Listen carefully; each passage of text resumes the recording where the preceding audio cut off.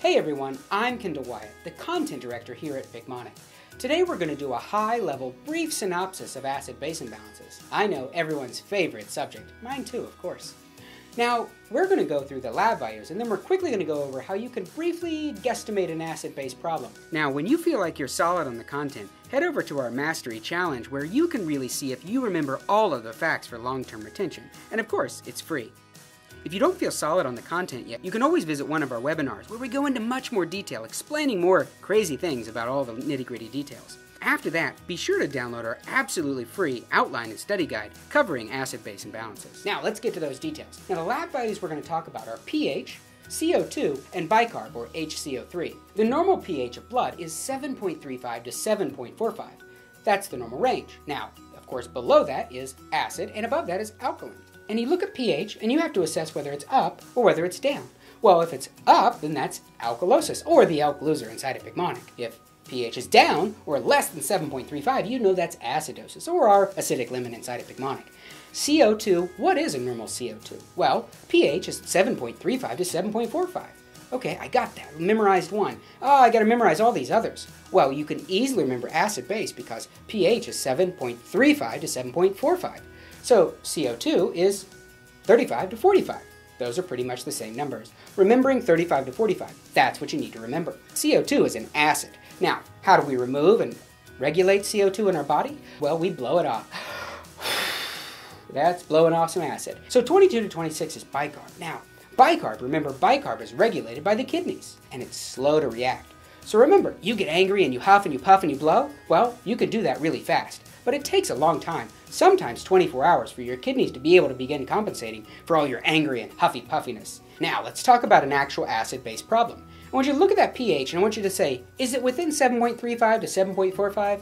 If the lab value is below 7.35, well, that's an acid. If the number's above 7.45, that's basic or alkaline. So I want you to look at a problem and assess the pH. If it's below 7.35 and trending downward, you need to put acidosis. If it's above 7.45, write down alkalosis. And put that down in your problem right away, so you already got 50% of the problem. You've got half the answer right there. Step number two is to look at the CO2.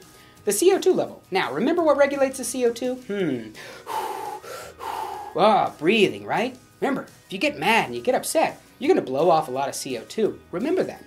So we look at the CO2. I want you to look at it and say, hmm, is it between that normal range of 35 to 45? And if you say no, well, it's abnormal, right?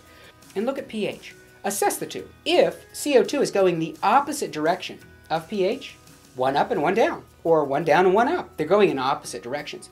Why is this important? Well, this makes it super easy. If it is, that's a respiratory problem. Well, if we already have acidosis or alkalosis written down, then you already have your answer. It's a respiratory alkalosis or a respiratory acidosis. You have one of the two answers right there, and for the most part, with all the basics, you're done. Now, what if they're both going in the same direction? Hmm, then we need to look at bicarb, HCO3, and only do we look at it then.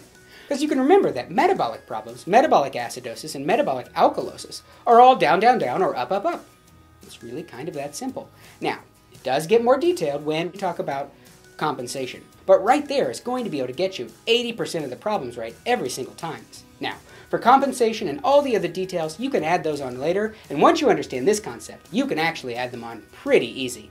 For all the other details and everything you need to know, even a wonderful Picmonic, with all kinds of graphical details. You can play it over and over. You can even go and have as a bedtime story if you like. And those are all the details and the fine little things that you can put together in our study guide with our Picmonics or by joining one of our webinars if you can catch one that we have scheduled pretty regularly. You can check us out at picmonic.com.